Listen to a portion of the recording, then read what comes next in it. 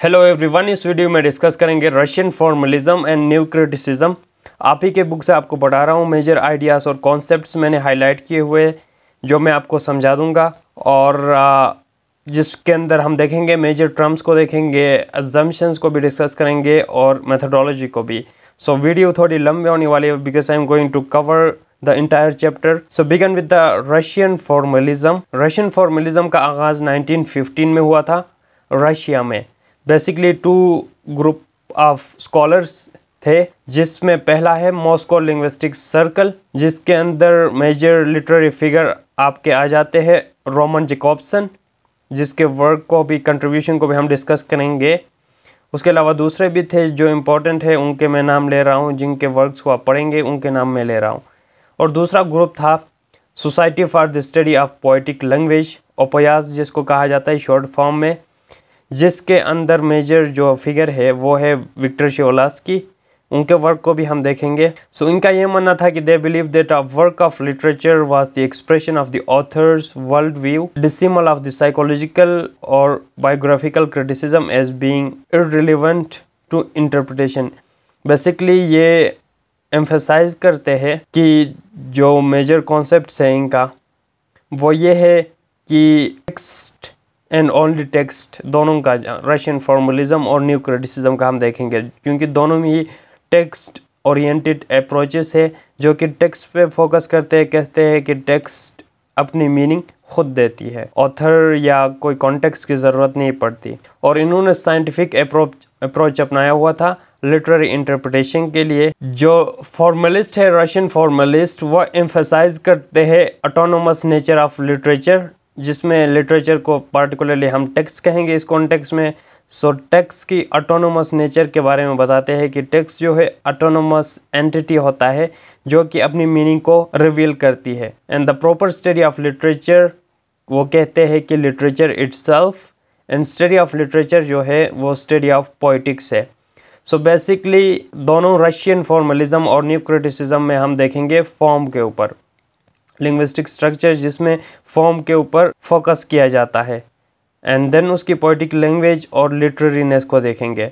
Literariness का ये मतलब है कि टेक्स्ट अपनी मीनिंग को खुद ही रिवील करता है, वो उसकी लिटरेरीनेस कहलाती है। So the formalist chief focus उनका लिटरेरी एनालिसिस था, जिसमें वो लिटरेरीनेस को देखते हैं कि टेक्स्ट जो है वो अपनी मीनिंग खुद रिवील करती है and the language employed in the actual text और लिटरेरी लैंग्वेज जो है वो फॉरग्राउंड करती है इट्सल्फ यानी ख़ुद को हाईलाइट करती है और कहती है look at me I am special I am unique यानी टेक्स ये कहती है। कहने का ये मतलब है कि टेक्स अपने मीनिंग खुद रिवील करती है। अगर फर्दर देखा जाए तो यहाँ पे एक मेजर टर्म है डिफेमलराइजेशन का।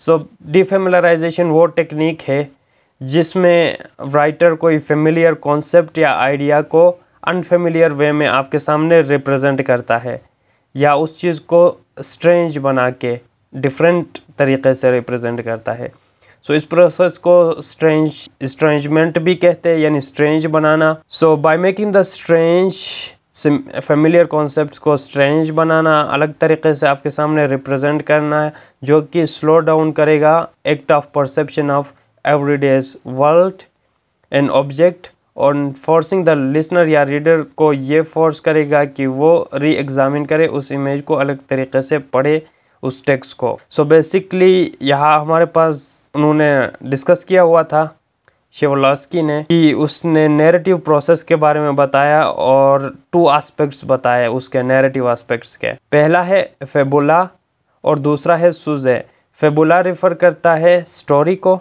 स्टोरी को फेबुला कहेंगे सिंपली एंड सुजे उस स्टोरी के प्लॉट को सुजे कहेंगे। सो so, फेबुला क्या है? फेबुला स्टोरी कहा जिसके अंदर raw material of the story और दूसरा सुजे उसका प्लॉट होगा यानी आउटलाइन जिसके अंदर क्रोनोलॉजिकल सीरीज़ ऑफ़ इवेंट्स होंगे। और इसके अंदर लिटरेरी डिवाइसेस भी हम देखेंगे जो कि राइटर यूज़ करता है। ट्रांसफॉर्म करने के लिए एक स्टोरी को फेबुला को इनटू प्लॉट के अंदर। सो so, इस तरह के टेक्निक यूज़ करने से क्या होगा?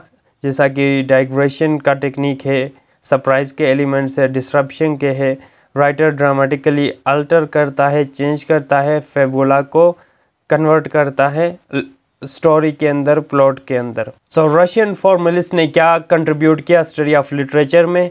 उन्होंने री इवेलुएट किया टेक्स्ट को। एंड देन साइंटिफिक अप्रोच को लाया लिटरेरी स्टडीज़ के अंदर।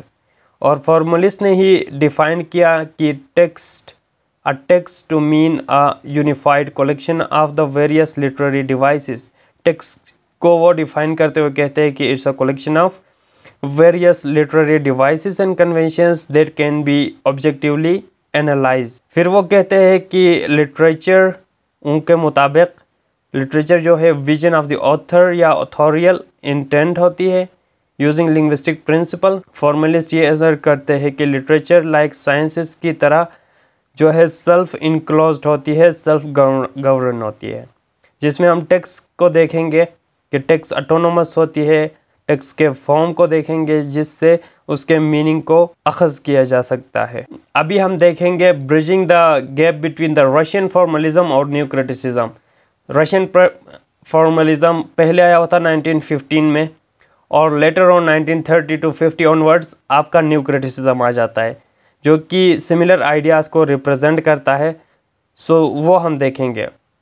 सो न्यू क्रिटिसिज्म जिसको कंसिडर किया जाता है second cousin of Russian formalism का और बहुत स्कूल ऑफ़ थाट्स रिप्रेजेंट करते हैं एम्प्लॉय करते हैं सिमिलर टर्मिनोलॉजीज और आइडियाज़ को। सो न्यू क्रिटिसिज्म है सोन यूनिक हिस्ट्री लेकिन हिस्ट्री डिफरेंट है। रशियन फॉर्मलिज्म रशिया में इवॉल्व हुआ था 1915 में वेयर एज न्यू क्रिटिसिज्म जो है ग्रेट ब्रिटेन के अंदर हुआ था और यूनाइटेड स्टेट्स के अंदर हुआ था in the nineteen forties so ये डिफरेंस है। सो रशियन फॉर्मलिज्म को टेक्स्ट पे आप किस तरह अप्लाई करेंगे क्या इसके एजम्पन्स है वो देखेंगे। सो so, टेक्स्ट पे अप्लाई करने के आप देखेंगे उसकी पॉलिटिक्स को यानी डिक्शन को देखेंगे। टेक्स्ट के फॉर्म को देखेंगे लिटरेरी डिवाइसेस को देखेंगे टेक्स्ट की लिटरेरीनेस को देखेंगे और foregrounding of the literary language को देखेंगे कि जो कि मेन आइडियाज़ को फॉरग्राउंड करती है। फॉरग्राउंडिंग मैंने डिस्कस किया हुआ है स्टाइलिस्टिक्स के अंदर वो आप देख सकते हैं। यानी जो चीज़ वो टेक्निक जिसके थ्रू किसी भी मैसेज को हाईलाइट किया जाता है। एंड देन डिफेमिलराइजेशन का टेक्निक देखेंगे। सो so, इस तरह हम अप्लाई कर सकते हैं रशियन फॉर्मुलिज्म को किसी भी लिटरेरी टेक्स्ट के ऊपर। Now we are going to discuss new criticism new criticism को डिस्कस करेंगे। सो अगेन सिमिलर कॉन्सेप्ट है रशियन फॉर्मलिज्म और इसके जिसके, जिसमें वो एम्फोसाइज करते हैं मीनिंग ऑफ़ दी टेक्स्ट के ऊपर कि टेक्स्ट जो है, अपनी मीनिंग खुद देती है। Text is enough text and only text ये कहते हैं कि टेक्स्ट के मीनिंग को समझने के लिए राइटर के ऑथर के बायोग्राफी या कोई और कॉन्टेक्स्ट की ज़रूरत नहीं पड़ती इनका ये मानना है। सो so, यही कॉन्सेप्ट है टेक्स्ट को न्यू क्रिटिसिज्म के अंदर एक पार्टिकुलर टर्म देंगे जिसको हम पॉइम कहेंगे। टेक्स्ट नहीं कहेंगे रादर पॉइम कहेंगे। किसी भी टाइप का टेक्स्ट हो ठीक है चाहे वो शॉर्ट स्टोरी हो या कोई और लिटरेरी वर्क हो उसको हम पॉइम कहेंगे न्यू क्रिटिसिज्म के अंदर। जब आप एनालिसिस करेंगे थियरी अप्लाई करेंगे न्यू क्रिटिसिज्म का आप कहेंगे this poem reveals that shows that right poem कहेंगे। सो so, कुछ हर थियरी के अपने टर्म्स होते हैं जिनको अपने अप्लाई करने होते हैं। सो so, कहते हैं कि the poem itself contain all the necessary information to discover the meaning and text enough है ओनली द टेक्स्ट इट किसी और चीज़ की ज़रूरत नहीं होती। आपको इंटरप्रटेशन समझने के लिए टेक्स्ट की। टेक्स्ट ही काफ़ी है और इन्होंने ऑब्जेक्टिव अप्रोच अपनाया हुआ था for the discovering of the text meaning तो टेक्स्ट की मीनिंग को डिस्कवर करने के लिए हम क्या करते हैं? हम जो है close reading of the text करते हैं, जिसमें हम लिटरेरी डिवाइसेस को देखेंगे लैंग्वेज डिक्शन को ऑब्ज़र्व करते हुए टेंशंस को देखेंगे और जिसके थ्रू हम मीनिंग को डिस्कवर कर सकते हैं। So new criticism stands as one of the most important English based contribution to literary critical analysis और इसके प्रिंसिपल जो है टीचेबल है seemingly undying popularity in the literature classroom ये उसकी सिग्निफिकेंस बता रहा है। सो बेसिकली न्यू क्रिटिसिज्म का आगाज़ हुआ था एक वर्क के पब्लिकेशन से जिसका नाम था न्यू क्रिटिसिज्म जिसे पब्लिश किया था, जिसे लिखा हुआ था बाय जॉन क्रो रैनसम इनका जो वर्क है। सो जॉन क्रो रैनसम को फादर कंसिडर किया जाता है न्यू क्रिटिसिज्म का फाउंडर कंसिडर किया जाता है। 1941 में इसने लिखा हुआ था। सो न्यू क्रिटिसिज्म के अंदर रैंसम आर्टिकुलेट करते हैं principles of these various groups and calls for an ontological critic who will recognize करे देट अ पोइम यानी टेक्स्ट को पोइम कहेंगे ये लोग used as the synonym in the new criticism for any literary work के लिए poem का word use किया है। सो so, कहते हैं टेक्स्ट जो है लाइक आयरन एंड गोल्ड ये कंक्रीट ऑब्जेक्ट होती है जिसको हम एनालाइज कर सकते हैं ब्रेक डाउन कर सकते हैं उसके मीनिंग को निकालने के लिए। अगेन वही सिमिलर बात कही है कि इनका ये मानना है कि जो है वो कहते हैं the text and text only approach उन्होंने अपनाया हुआ था कि टेक्स्ट ही काफ़ी है उसके मीनिंग को निकालने के लिए, किसी और चीज़ की हमें नीड नहीं पड़ती। So their approach to textual analysis emphasize करती है किस तरह हम मीनिंग निकाल सकते हैं by close reading of the text जिसमें हम वर्ड टू वर्ड पढ़ेंगे लाइन टू लाइन पढ़ेंगे। और लिटरेरी डिवाइसेस को देखेंगे लैंग्वेज उसके डिक्शन को देखेंगे जिससे हमें टेंशन के बारे में पता चलेगा उसका मेन आइडिया पता चलेगा किसी भी टेक्स का। अगेन टेक्स जो है टेक्स को ऑटोनोमस एंटिटी कहा इन्होंने।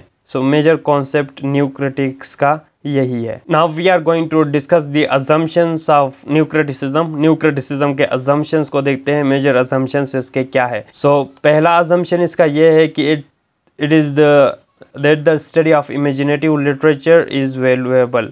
इनका ये मानना है कि इमेजिनेटिव लिटरेचर जो है वो वैल्यूएबल होती है, यानी स्टडी पोइट्री या दूसरे लिटरेरी वर्क को पढ़ते हैं, उसके अंदर हम खुद को इंगेज करते हैं। Engage oneself in aesthetic experience और ये जो है एक एस्थेटिक एक्सपीरियंस होती है और इससे जो इफ़ेक्ट प्रोड्यूस होते हैं रीडर पे इंडिविजुअल पे when contemplating the work of art, and it can lead to the truth.